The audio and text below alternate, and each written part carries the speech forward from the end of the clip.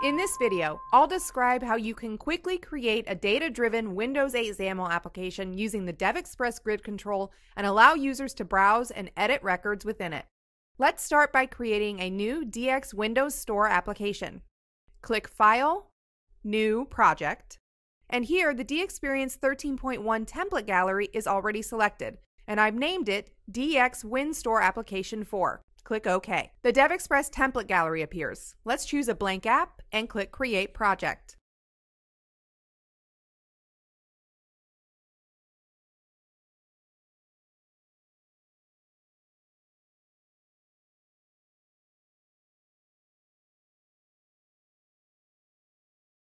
In XAML, we'll create the header. Let's use DevExpress grid control.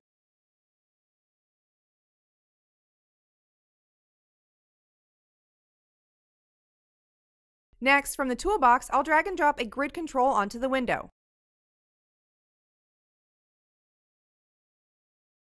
Back in XAML, we'll stretch the horizontal alignment, remove the height and margin, and stretch the vertical alignment as well.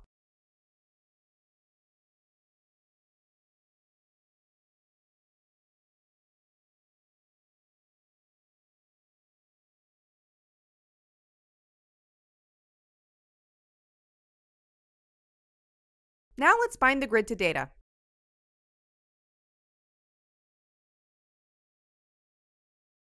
Let's choose Product List.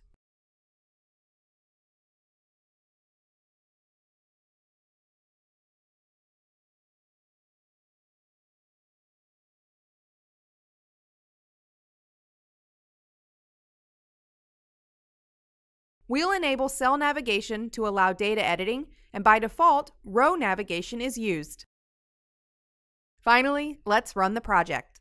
The grid automatically creates columns for all fields in a data source, and columns with a text editor are created for fields with strings. For date time fields, a column with a date editor is created.